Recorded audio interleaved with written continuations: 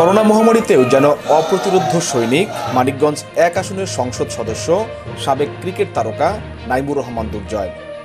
সংক্রমণের ঝুঁকি নিয়েই প্রায় প্রতিদিনই তিনি ছুটে যাচ্ছেন তার নির্বাচনী এলাকায়। করোনায় কর্মহীনদের সাহায্যের পাশাপাশি খাদ্য সহায়তা নিয়ে নদী ভাঙন ও বন্যায় ক্ষতিগ্রস্তদের পাশে দাঁড়াচ্ছেন। নিয়মিত যোগ দিচ্ছেন সরকারি নানা অনুষ্ঠানেও।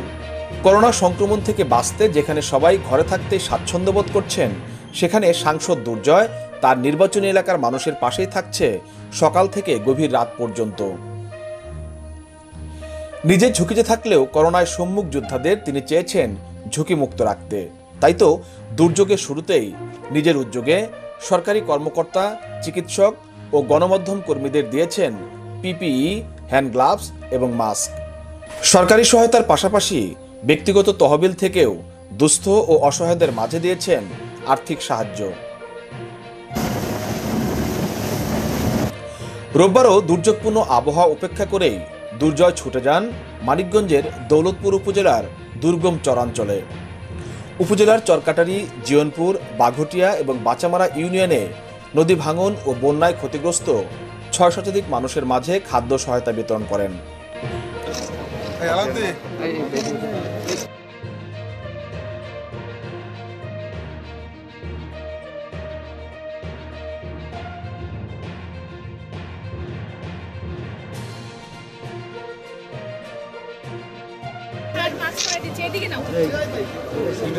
ভাঙন রোধে পানি উন্নয়ন বোর্ডের চলমান কাজেরও খোঁজখবর নেন জাতীয় ক্রিকেট দলের সাবেক এই অধিনায়ক।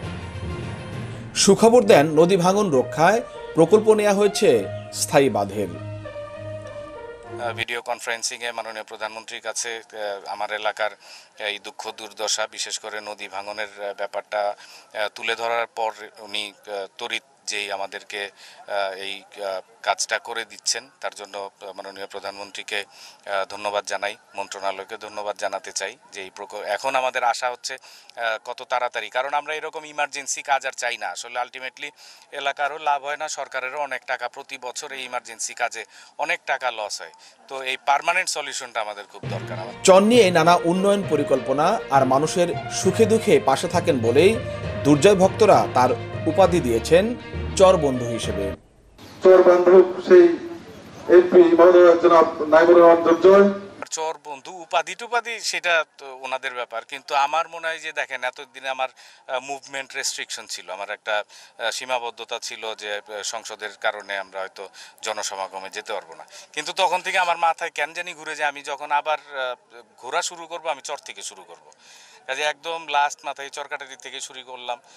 আবার চরে আসতেও ভালো লাগে। এখানকার মানুষ অনেক ওপেন খোলামেলা আমার সাথে কমিউনিকেশনটা ভালো হয়। এর জন্য চরে আসি। ভালো লাগে। Desk report BNP